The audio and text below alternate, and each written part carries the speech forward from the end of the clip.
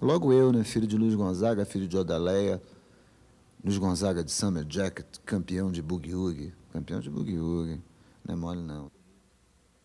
Homem, menino, me dá um... Toca esse zabumba aí pra mim, por favor, um baião, um baião. Zabumba.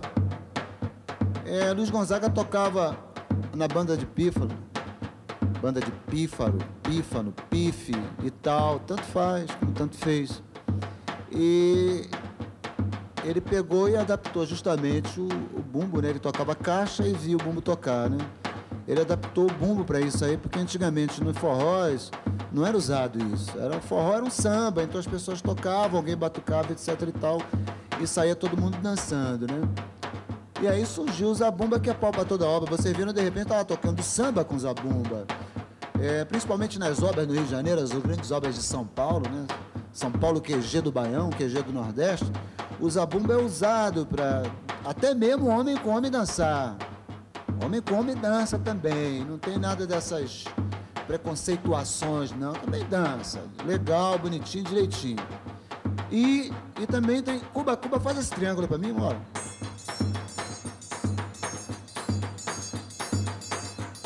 Ele estava querendo fechar um terno, que era sanfona, zabumba ele borou e ele tinha que bolar mais uma coisa. Ele tentou um gongue, gongue a gogô, tentou.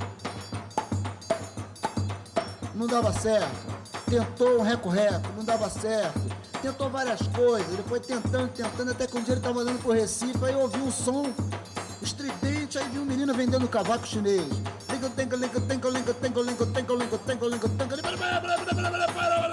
Foi lá rapaz, toca aí pra eu ver.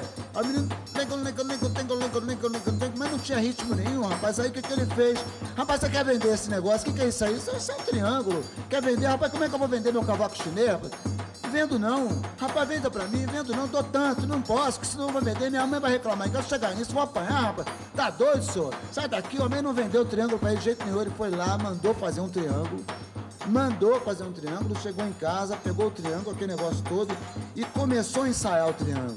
Porque o Luiz Gonzaga ensaiava. Ensaiou o triângulo direitinho de cabo a rabo, ensaiou zabumba direitinho de cabo a rabo. Tudo que é batida possível e imaginável de triângulo e de zabumba foi Luiz Gonzaga realmente quem criou. Porque ele ensaiava dentro de casa, assim como ensaiava a sua sanfona. Ele cantava e tinha seus truques na manga. Cantava com a voz junto com a sanfona. Cantava ali fazendo aquele acorde. Por isso suas músicas são redondas, por isso a sua riqueza. Por isso a sua riqueza musical, porque ele tem influências todas. Ele soube colocar para fora e ele foi o criador do terno.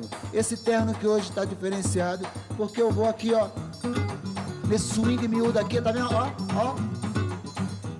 Tá ouvindo o swing do violão? Esse swing aqui, Gonzagão não inventou não. Esse swing aqui é de meu avô, Januário, na sanfona de oito baixos. É tocar com sanfona fechada. Tocar e mandar qualquer uma. Nessa pisada aqui eu vou três dias, três noites falando.